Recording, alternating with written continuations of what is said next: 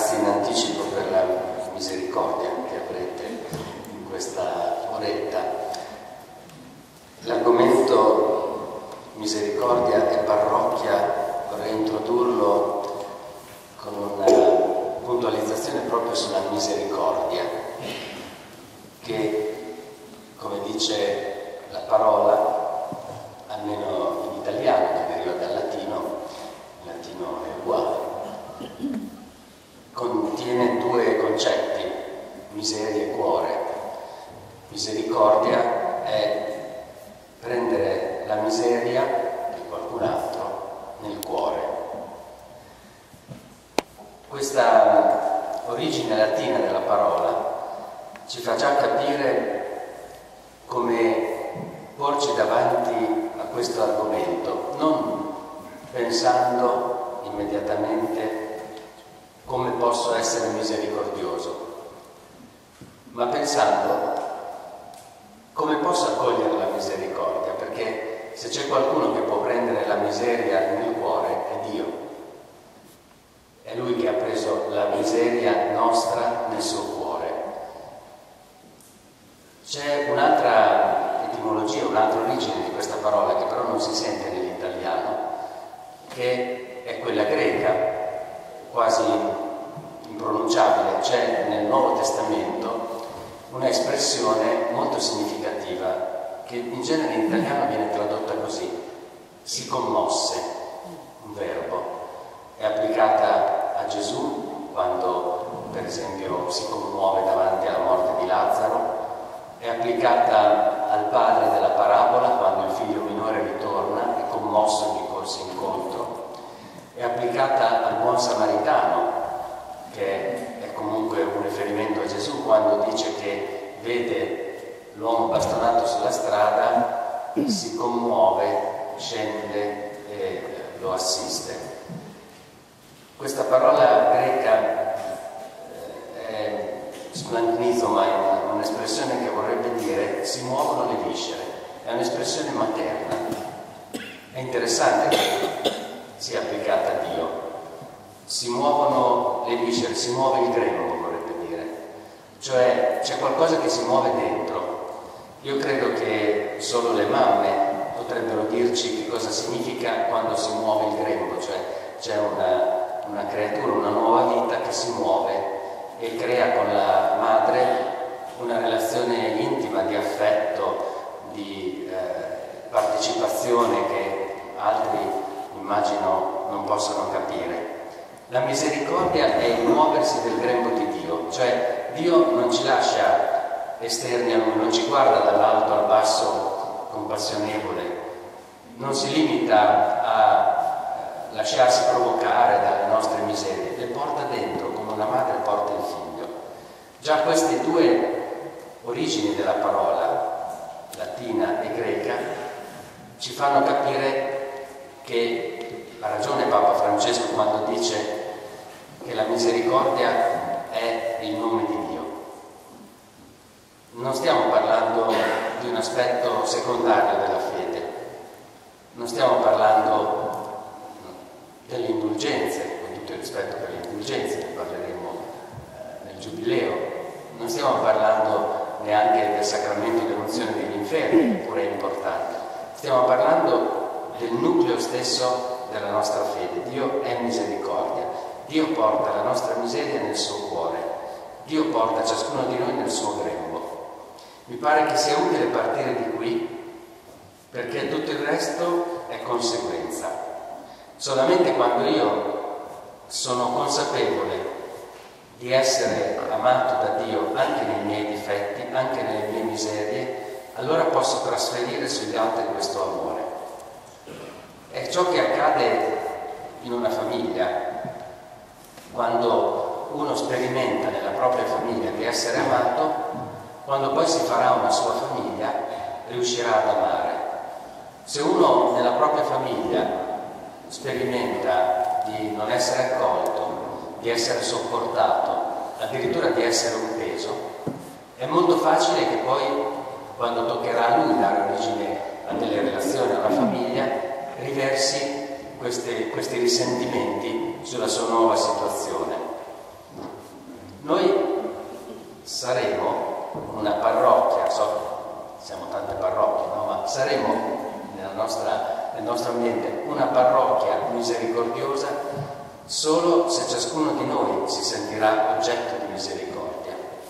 Bisogna che ci ricordiamo, purtroppo ce lo dimentichiamo spesso in Occidente, i nostri fratelli cristiani d'Oriente se lo ricordano di più, che all'origine di tutto c'è un ricevere prima che un dare, c'è un passivo prima che un attivo. Io sono amato prima di amare, io sono perdonato prima di perdonare. Questo è vero per la vita umana, è vero anche per la vita cristiana. Nella vita umana è evidente che io sono passivo all'inizio, la mia origine io la posso dire solo al passivo, io non posso dire io mi sono concepito, sarebbe riflessivo, devo dire io sono stato concepito, io sono stato portato in grembo, io sono stato accolto alla nascita oppure sono stato rifiutato, sono stato nutrito, curato, sfamato, dissetato, sono stato. Noi lo diciamo alla forma passiva perché l'origine della nostra esistenza è un dato, per noi cristiani addirittura è un dono, per qualcuno è una maledizione. Ci sono delle persone che dicono l'esistenza è una maledizione, però tutti siamo d'accordo sul fatto che nessuno di noi è stato attivo nella propria origine. Non so quando ci si renda conto di esistere. Gli psicologi variano un po', qualcuno dice un anno e mezzo, qualcuno due anni, due anni e mezzo. Comunque quando io mi rendo conto di esistere, io esisto già da un pezzo. Quando io mi rendo conto di essere al mondo e posso cominciare a parlare in forma attiva, io voglio, io non voglio, io desidero, io vado, io rispondo. Quando io posso dire così, già da molto tempo io sono stato pensato, concepito. Questo è vero anche nella vita cristiana e noi ce lo dimentichiamo troppo spesso. Prima di essere attivi noi riceviamo, prima di poter servire noi siamo serviti, prima di poter amare noi siamo amati.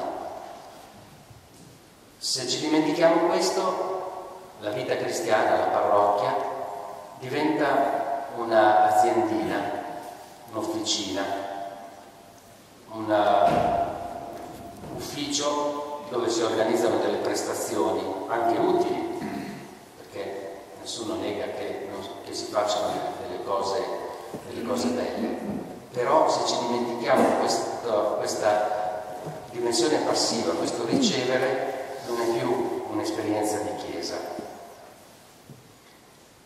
Cosa significa esercitare la misericordia in parrocchia? Andiamo alla parte più attiva. Innanzitutto perché ci sarebbe bisogno di esercitare la misericordia. La parrocchia dovrebbe essere una comunità in cui si va d'accordo, in cui non si litiga mai, non ci sono rivalità. Sento che qualcuno ride, ma a volte si dice ma come? La parrocchia deve essere una, un luogo in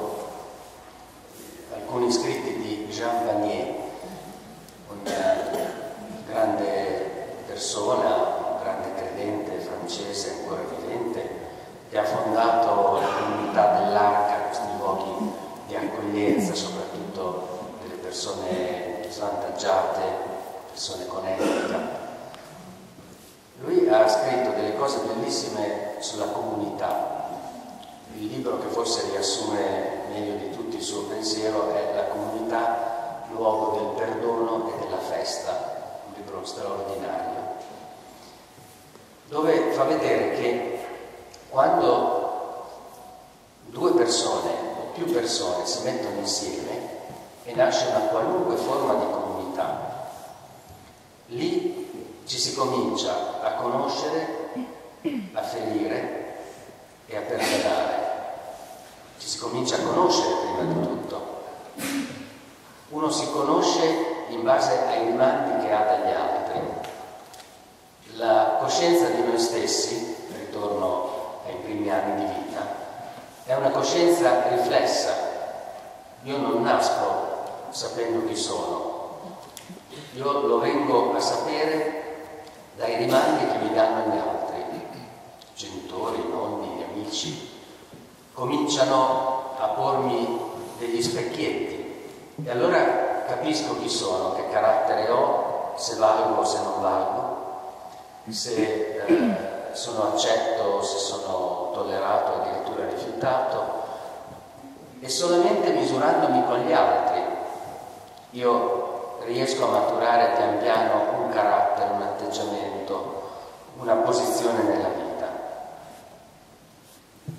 Man mano che cresco poi entro in una relazione che mi fa capire anche i difetti, le ferite. Io non scoprirei le mie ferite se non fossi in relazione con altri.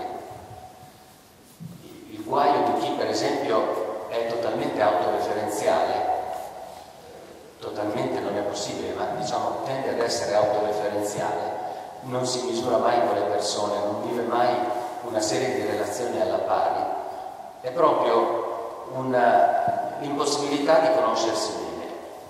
Noi ci conosciamo nell'incontro e a volte anche nello scontro. E poi il passaggio del perdono. E qui però casca l'asino. Cascano tanti asini sul tema del perdono. Prima quello che vi parlo. Perché cosa significa perdonarsi, esercitare la misericordia? Lo vorrei dire riferendomi sempre alla parabola dei due figli. Che cosa significa lì esercitare la misericordia?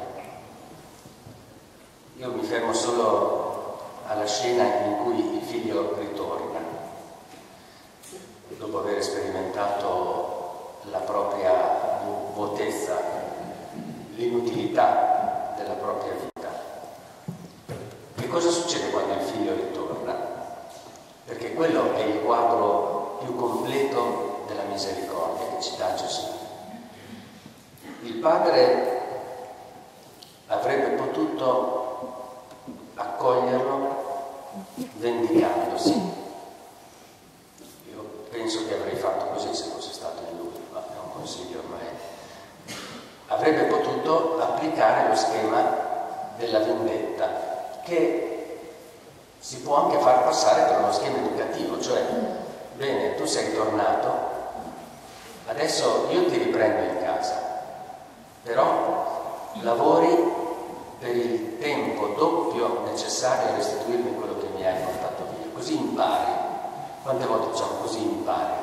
Così impari vorrebbe dire è un atteggiamento educativo, però spesso esprime solo il desiderio di vendicarsi, cioè te la faccio pagare, eh, do sfogo al mio istinto di rivalsa. Il padre non fa così, allora avrebbe potuto applicare un secondo atteggiamento, che è quello della giustizia, non la vendetta. Lavori per il tempo doppio, no, la giustizia. Lavori per il tempo necessario a risarcire quello che hai portato via.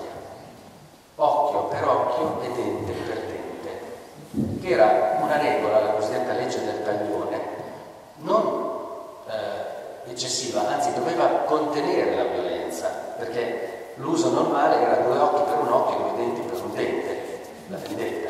Allora occhio per occhio, dente per dente è la giustizia. Il padre non fa neanche così. Avrebbe potuto, eh, proprio nei momenti migliori, avrebbe potuto dire pietra sopra, facciamo finta di niente. Come se non fosse successo niente. Tu ritorni in casa e riprendi il lavoro di prima. E a noi probabilmente questa sembra misericordia, perché evita di vendicarsi, evita anche il risarcimento, eppure non fa neanche così. Che cosa fa? Organizza una festa, cioè crea uno spazio di gioia, di felicità sulle ceneri dell'offesa questa è la misericordia, prende davvero la miseria di quel figlio nel suo cuore, è come se lo facesse rinascere nel suo grembo. Non a caso come vi ho detto, si usa il verbo commuoversi, commosso gli corse incontro, cioè dopo aver sussultato nel grembo gli corre incontro, lo sente ancora suo. Questo atteggiamento si misura quanto è difficile la misericordia perché io mi rendo conto quando qualcuno mi offende che mi viene molto facile la vendetta, magari anche la vendetta tardiva, quella un po' più sottile, calcolata, però così capite anche come sono messo. La vendetta. Se sono in buona la giustizia, quando proprio sono fumato qualcosa, ci metto una pietra sopra ma non viene mai di trasformare un'offesa in festa. E non solo a me viene questo, perché la parabola prevede la presenza di un altro figlio che non accetta la misericordia. Qualche tempo fa spiegando i bambini della mia ex parrocchia, bambini di della prima comunione questa parabola, avevo l'impressione all'inizio che la conoscessero, poi si sono un po' persi. E arrivato a questo punto ho detto, padre fa la festa, bambini la parabola è finita. Sì, sì, eh, guardavo l'orologio, no, ce n'è ancora una parte. Mm. Dico, c'è qualcuno che rimane male e nessuno riusciva allora vi do un aiuto, all'inizio si dice un padre aveva due figli, il figlio minore gli disse chi è che rimane male? Finalmente a forza di chiedere un bambino ha alzato la mano, dillo tu chi è che rimane male? E lui ha detto il vitello grasso. allora bisogna andare ad ascoltare. Perché? Probabilmente anche il vitello grasso, ma il figlio maggiore, il figlio maggiore rappresenta proprio la giustizia strettamente intesa, non, non crea nel suo cuore nessuno spazio di misericordia. Certo che se noi misurassimo le relazioni con il bilancino avrebbe ragione lui. Il suo ragionamento non fa una piega. Io non ho mai trasgredito il tuo comando e non ci vuole molto pensare che Gesù stava parlando dei farisei, maggiore dei farisei io non ho mai trasgredito un tuo comando e tu non mi hai dato neanche un capretto per far festa con gli amici. Questo tuo figlio che ha dilapidato tutto ha avuto il vitello grasso, il capretto e il vitello grasso. Ma la risposta del padre indica che cos'è la misericordia anche verso di lui, perché dice, figlio, tutto quello che è mio è tuo. Altro che vitello grasso tu non ti sei reso conto che avevi la cosa più importante, la relazione con me. Questo mi pare che ci indichi uno stile nelle nostre parrocchie. Cos'è la misericordia tra di noi? Che cosa significa poter addirittura fare festa per il ritorno di chi ha sbagliato? Io credo che significhi tre cose. La prima è un atteggiamento che Gesù chiama eh, nel Vangelo di Matteo la correzione fraterna. Questo è il primo passo della misericordia. Cioè, come faccio io a vivere nella mia comunità cristiana relazioni di misericordia?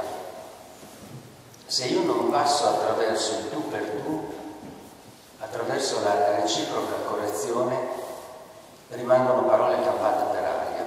Gesù ci indica in Matteo 18 un metodo molto concreto se, traduco così, se c'è una ferita nella comunità, se sei tuo fratello ha qualche cosa contro di te, commesso, ha commesso qualcosa contro di te, cioè se c'è una ferita tra di voi, che cosa fare? Qui non si sfugge. Vai e correggilo tra te e lui solo. Questo è il primo passaggio, il tu per tu. Se non ti ascolta, prendi con te due o tre testimoni, cioè coinvolgi altre persone che gli vogliono bene. Se non ascolta neanche loro, dillo all'assemblea, cioè rendi partecipe la comunità cristiana. Se non ascolta neanche l'assemblea, sia per te come un pagano, un pubblicano, che non significa mandalo al diavolo, significa tu hai fatto tutto quello che potevi, puoi solo pagare per Metodo molto semplice, uno stile di misericordia in quattro passaggi. Che cosa succede però a volte? Almeno ricordo che succedeva a Forlì e succede anche a Modena, non so se a una succede. Che quando io ho qualche cosa o qualcuno ha qualcosa contro di me, quando uno mi offende, prima lo mando al diavolo, poi lo sanno tutti, poi lo sanno gli amici, poi lo sa anche lui cioè lo applichiamo ma esattamente al rovescio. Questa non è misericordia.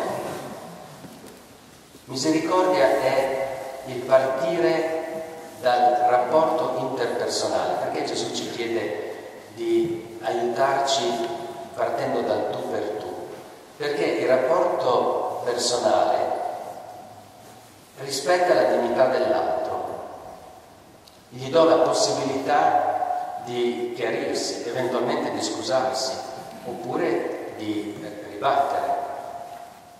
Ma è difficile, perché è molto più facile, se so che qualcosa non va in comunità, andare a dirlo al forno dalla parrucchiera, piuttosto che chiamare la persona e dirlo con questa persona.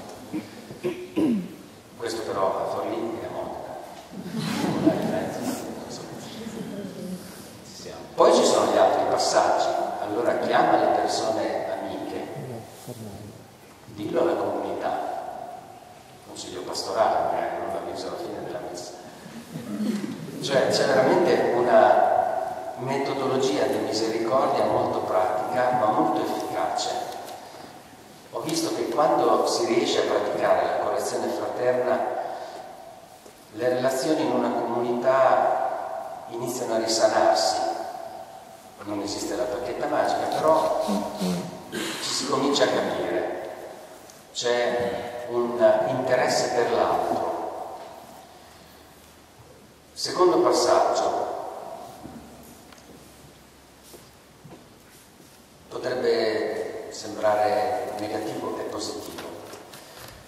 Io la chiamo la franchezza, la franchezza tra i vari versetti che si potrebbero citare, basta citare un passaggio del discorso della montagna, Matteo 5. Il vostro parlare sia sì, sì, no, no. Il di più viene dal maligno. Allora io questa sera vengo dal maligno, perché vi parlo No, Gesù non può dire questo. Bisognerebbe tradurre così, il vostro parlare sia sì, sì, no, no. Ossia, se pensate sì, dite sì, se pensate no, dite no. Non girateci attorno, non pasticciate le cose, siate franchi. San Paolo usa spesso una parola greca, pararesia, che poi viene usata in italiano, vuol proprio dire la sincerità, non è la brutalità, è l'aprire il cuore secondo ciò che veramente si pensa e soprattutto farlo davanti alla persona non alle spalle. Papa Francesco, credo 25 5-6 volte ha già fatto delle omelie contro le chiacchiere, anche nelle comunità cristiane, dicendo che le chiacchiere alle spalle distruggono. Ed era anche un punto fermo di San Francesco. Nelle fonti francescane, specialmente nelle, nelle vite di San Francesco, ho presente in particolare la vita seconda di Tommaso da Celano, che è uno dei suoi primi biografi, si dice spesso che Francesco era convinto che il veleno della vita comunitaria fosse la maldicenza, cioè il parlarsi alle spalle, e che questo fosse il contrario dell'amore e della misericordia. Ci sono delle pagine roventi attribuite a San Francesco su questo punto. Forse più che tanti concetti può valere un fatto. Eh, sto per dire una cosa di San Francesco che forse non corrisponde proprio al cliché di San Francesco, che parla con gli uccellini, ammansisce il lupo, cammina in punta di piedi nei prati. Qui viene fuori un Francesco un po' più energico. Quando lui veniva a sapere eh, di un frate che in qualche convento aveva sparlato alle spalle di un altro frate, aveva una sua cura particolare, ordinava che questo frate maldicente fosse accompagnato al convento di Firenze, eh, dove c'era, dice la fonte, un fratone grande e grosso, certo frate Giovanni, soprannominato il pugile di Firenze, il quale aveva tra gli altri questo compito di pestare il, il maldicente. Dopo convalescenza adeguata veniva riportato nel suo convento. E Francesco diceva così forse capirà la gravità di ciò che ha commesso non è un suggerimento per le nostre parrocchie. Però se Francesco, che è l'uomo della pace, della non violenza, del rispetto per tutti, faceva così vuol proprio dire che la maldicenza è il veleno, è esattamente il contrario della misericordia, è il dire male dell'altro per abbassarlo, anziché portare l'altro nel cuore con le sue miserie, il dire male dell'altro. Credo che ogni passo che possiamo fare in parrocchia, richiamandocelo, verso la franchezza, anche verso il parroco, se io ho qualche cosa da dire sul parroco, non lo devo dire prima di tutto sul parroco, ma al parroco. Poi magari ci rimane male. Così vale tra catechisti, tra i gruppi, vale per tutti.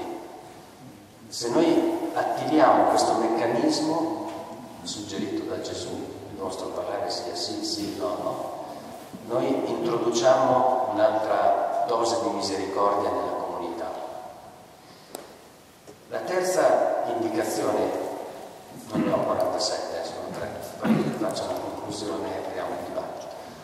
La terza indicazione e traduzione pratica della misericordia è la stima, la stima, correzione fraterna, franchezza, stima.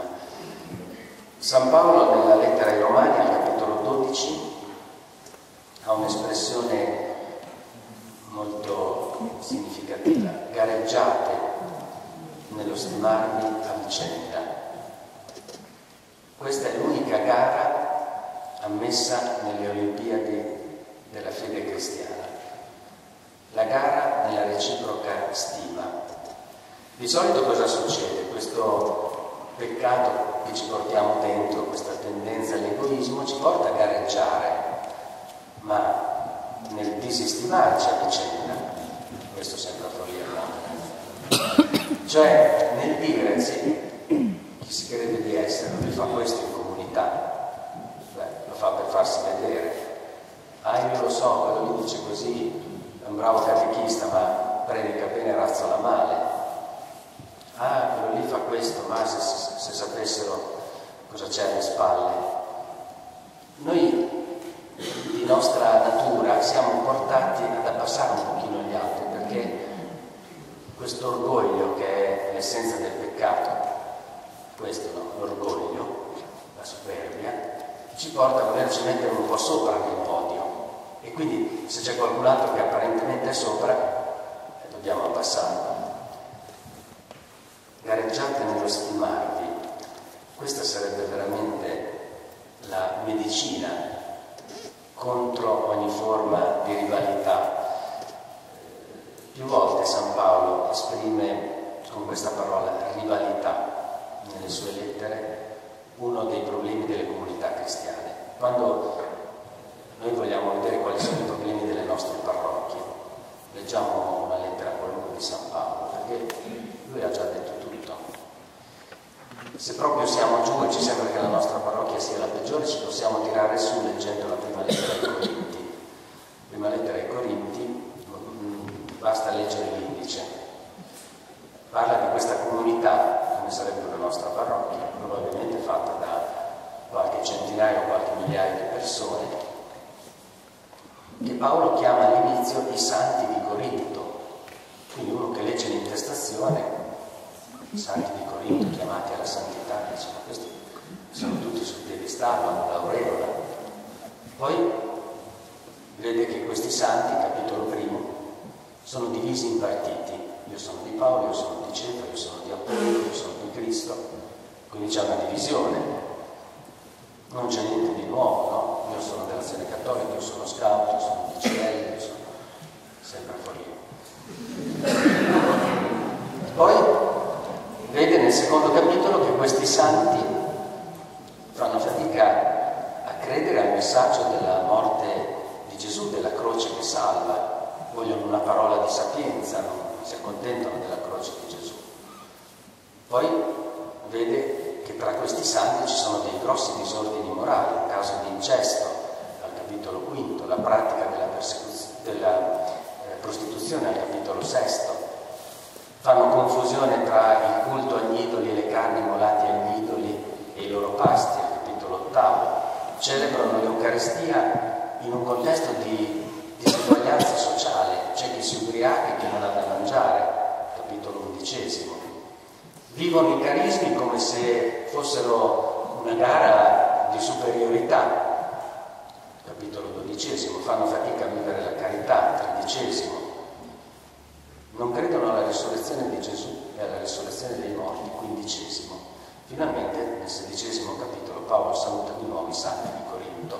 Allora diciamo, siamo santi anche noi da questo punto di vista, ma qui c'è tutto, c'è, c'è la rivalità, c'è la divisione, ci sono le immoralità, ci sono le ingiustizie, le fatiche nella fede. Non è necessario pensare eh, cose nuove, ma Proprio per questo Paolo dice gareggiate nello stimarvi a vicenda, perché sa che la vera medicina della misericordia è la stima reciproca, non una stima improvvisata, una stima che nasce dalla conoscenza, che è passata attraverso la correzione fraterna, che si nutre di franchezza, non un sorriso a 32 denti prestampato verso tutti, ma relazioni provate, che alla fine però trovano in tutti qualcosa di positivo.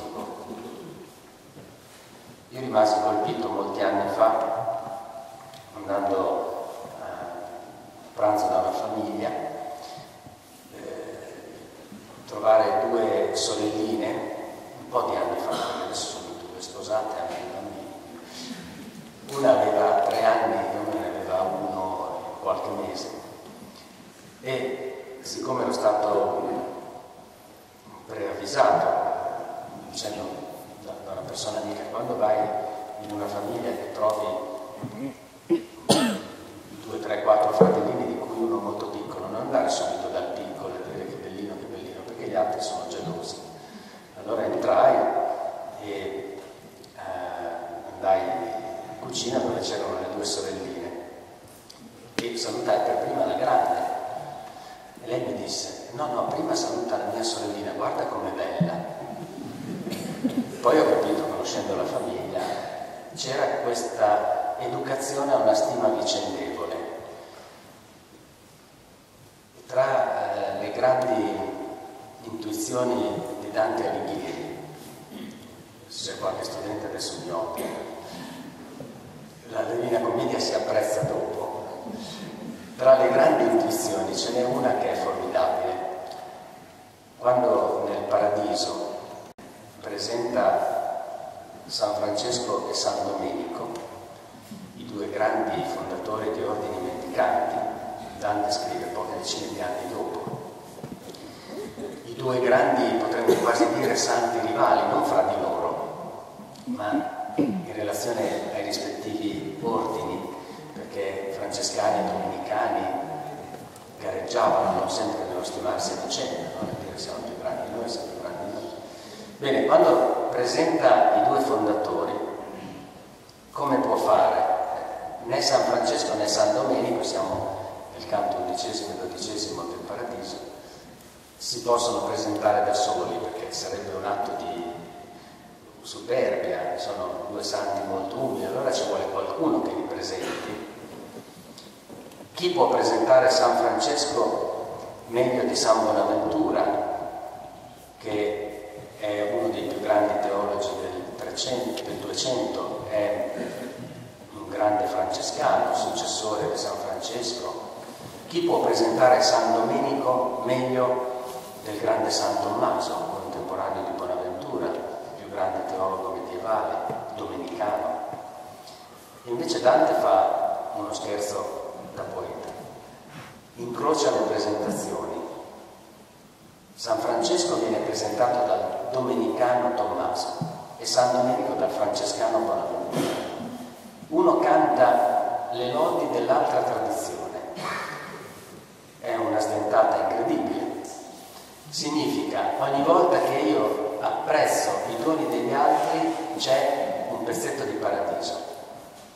Ogni volta che io riesco a stimare l'altro, diverso da me, forse anche per le sue diversità, lì veramente siamo in una comunità gioiosa, anche nelle sue diversità, perché il passaggio della misericordia è il passaggio dal singolare al plurale. Misericordia fa sempre riferimento a una relazione, a un altro. Se io continuo a dire io, io, io, io, alla fine il podio, primo, il primo gradino, quello più alto, deve essere mio. E se arrivo al quarto posto come Valentino è un problema. Devo essere il primo se io comincio a dire noi, noi, noi, allora se l'altro ha un dono che io non ho, grazie Signore, non ah, chissà cosa c'è dietro, lo fa per farsi vedere, no, grazie perché sono insieme, siamo. La comunità non è la somma di tanti individui, è una rete di relazioni per cui veramente come dice il padre della parabola, quello che è mio è tuo. Ma questo passaggio dall'io a noi, questo, questa mentalità di misericordia non è una malattia. C'è sempre quel diavoletto che si chiama orgoglio che ci tira verso il podio. Concludo con questa osservazione. La misericordia, io ho provato a dire tre passaggi, ingredienti della misericordia in una parrocchia, ma ce ne sarebbero tanti altri. La misericordia è un cammino, stiamo ricordando questa categoria no? del cammino, perché è prendere per mano una persona dal punto in cui è fino alla meta. Una eh, icona della misericordia, un'immagine molto chiara della misericordia, c'è là dove al termine di, quest- di una scena molto nota del Vangelo, capitolo 8 di Giovanni, l'adultera, Gesù esprime con due frasi eh, il, il succo della misericordia. Questa donna è stata portata dagli anziani che vogliono mettere in trappola Gesù. Tu cosa dici? Mosè dice che dobbiamo lapidare donne come questa. È stata portata con una bella etichetta, adultera doc. Questa è un'adultera, te l'abbiamo etichettata. Adesso veditela tu, perché se tu dici che dobbiamo rilasciarla vai contro Mosè. Se dici che dobbiamo lapidarla vai contro il tuo stesso insegnamento. Vediamo come te la e Gesù, invece di eh, cadere in questa trappola, svela il cuore. Chi di voi è senza peccato scagli per primo la pietra. Non, eh, non gioca Gesù con i codici, Gesù va subito alla coscienza. Se ne vanno e rimane la donna sola là in mezzo. E Sant'Agostino commenta, restarono la miseria e la misericordia come si esprime questa misericordia di Gesù? La miseria si era già espressa, è un'adultera, combinato un guaio, merita la morte, adesso tocca la misericordia. Come se la cava Gesù? Donna, nessuno ti ha condannato. Notate che non dice adultera, nessuno ti ha condannato. Gesù strappa via l'etichetta etichetta. La misericordia non usa le etichette, è allergica alle etichette. Donna, cioè recupera la sua dignità. Nessuno, Signore, ed ecco le due espressioni. Neppure io ti condanno, vai e d'ora in poi più. Neppure io ti condanno vuol dire io ti accolgo pienamente come persona dal punto in cui sei. Hai commesso un peccato, ti accolgo da questo punto. Ma ti voglio tanto bene e ci tengo tanto che tu sia veramente donna, che ti dico vai e d'ora in poi non peccare più, ti metto in cammino. La misericordia è questo, accogliere la persona dal punto in cui è, con la sua miseria, che sia una miseria materiale, morale, spirituale, affettiva, per accompagnarla verso una meta di liberazione. Ma voi capite che questo collegamento, a Gesù gli usciva benino, lui aveva un po' di vantaggio, per noi è difficile. È difficile perché nella nostra cultura manca, eh, manca la categoria di misericordia, nel senso che non è spendibile per esempio nel campo giuridico. Immaginate se valutando un reato il giudice a un certo punto dicesse beh adesso sono pieno di misericordia, tu sei colpevole ma sei libero, sarebbe uguale giudiziario. Massimo ci sono delle attenuanti, ma non c'è la categoria di misericordia nel, nel codice civile, nel codice penale, tanto meno in quello stradale. Non c'è. Non c'è neanche in un altro campo importante della nostra vita, che è il commercio, la, lo scambio di beni. Vado eh, negli alimentari, eh, quanto è un netto di prosciutto? Ma sono, sono 10 euro, però sia misericordioso, mi faccia 5. No, usiamo la categoria di sconto o di imbroglio, insomma non c'è misericordia, non, non la spendiamo in questi casi la spendiamo a malapena nelle nostre relazioni, forse familiari, un supplemento di amore, di affetto, di perdono. Tant'è vero che quando nella Chiesa si parla dell'accoglienza del peccatore e contemporaneamente di un'accoglienza tale che lo porta a uscire dal peccato verso una liberazione, verso una verità, nella, nei mezzi di comunicazione si prende o l'uno o l'altro aspetto. È successo sempre anche col sinodo sulla famiglia.